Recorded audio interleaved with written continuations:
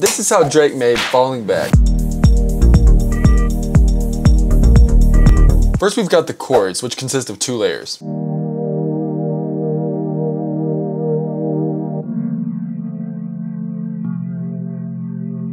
fill it out a little bit, I also added this bass.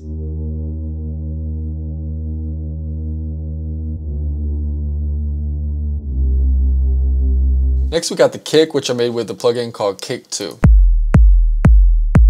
Made sure to tune it to the key of the song, which is B flat, and also EQ'd it a little bit just to get the body of the kick of the song. Then I added a little bassy bass, which is two layers.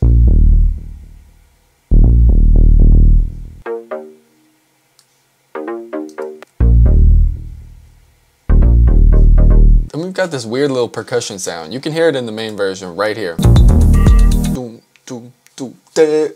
Remade this sound with this percussion woo. Stretched it a little bit, pitched it, did some weird EQ, and then threw some plugins on it just to degrade it and make it sound a little worse. And one thing you can tell is that there's a lot of noise or ambience going on in this song. So the way I did this was a couple different layers. First was just some noise.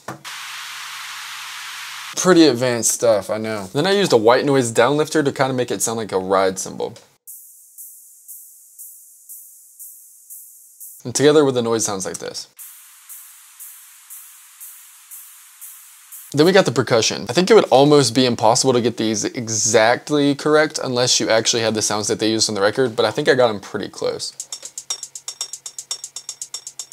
The main thing was this was to make sure that it was human and the way I did this was just changing the velocities and then just moving them over in little increments just to give it more of an organic feel. The track really sounded warm so I threw some tape on the master and did a little bit of imaging just spreading out the highs. A little God particle because why not and voila this is how Falling Back was made.